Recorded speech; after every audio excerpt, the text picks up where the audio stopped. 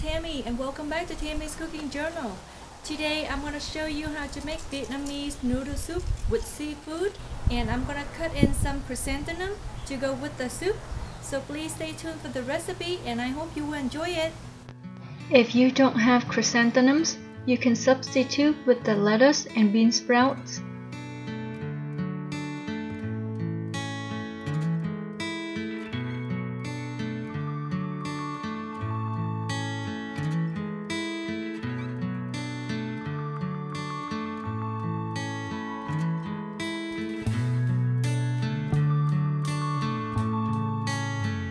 First, cook the bones and pork on medium to high heat, then add in 1 tablespoon of salt, 1 tablespoon of vinegar.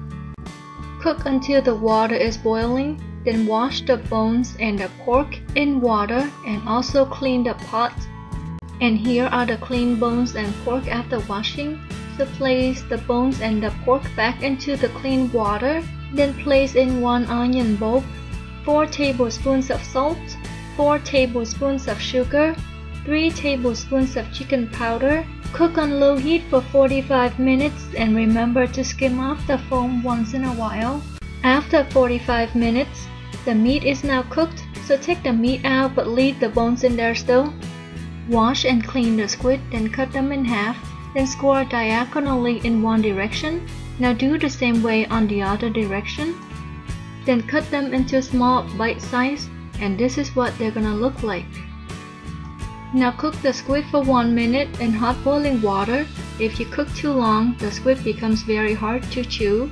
Boil the shrimp in hot boiling water with half teaspoon of salt until it's no longer white. This soup goes with the flat rice noodles, so please click on the picture to view my previous video on how to cook the flat rice noodles. Now just thinly slice the cooked pork.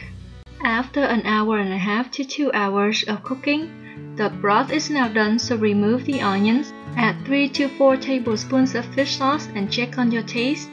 To serve, place the noodles at the bottom of the bowl, then pour the broth in, place the squid, pork and shrimps on top, then add chopped green onions and cilantro, sprinkle some black pepper on top. Also sprinkle some fried onions and red pepper slices then just add the chrysanthemums into the bowl as you go and just enjoy. This soup is not hard to make.